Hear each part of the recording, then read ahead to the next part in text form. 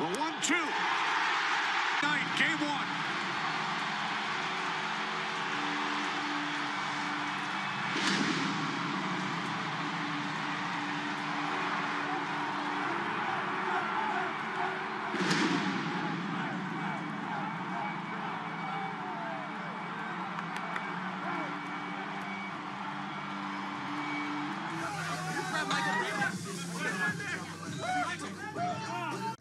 What is up, Astro fans? And yes, we are ALCS bound.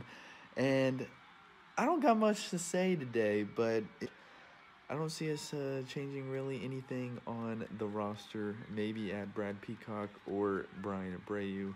Wade Miley's a little iffy for me. He didn't have a good performance in the ALDS. But after that, I, I don't see any changes.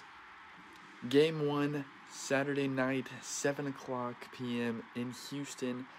I believe Zack Greinke is getting the ball, with Justin Verlander getting game two, uh, Gerrit Cole getting game three, and I believe in Yankee Stadium, I believe we would throw Jose Urquidy over Wade Miley just against that righty dominant lineup in New York. Jose Urquidy's got a got some big shoes to fill, and he's gotta he's gotta be bear down, ready to go in Yankee Stadium because that is a big task to ask. And hopefully he's got hopefully he's got a three nothing lead at that point, 3-0 lead in the series. That's just a big hope. We'll see what happens. Uh, game one, Saturday night, seven o'clock.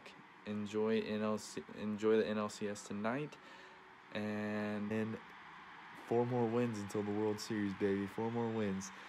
That's all I got for you today, guys. Uh, as AJ Hinch said, everybody's got to come through Houston to get to the World Series. So let's give them something to fight for. Let's let's let's do it. And that's all I got for you today, guys. Like, comment, subscribe, and go Stros. Big time performances by big time players today. Unbelievable job. Congratulations. ALDS champions. The best part, the best part, the moment's never too big for this team. And everybody's got to come through our house to get to the World Series.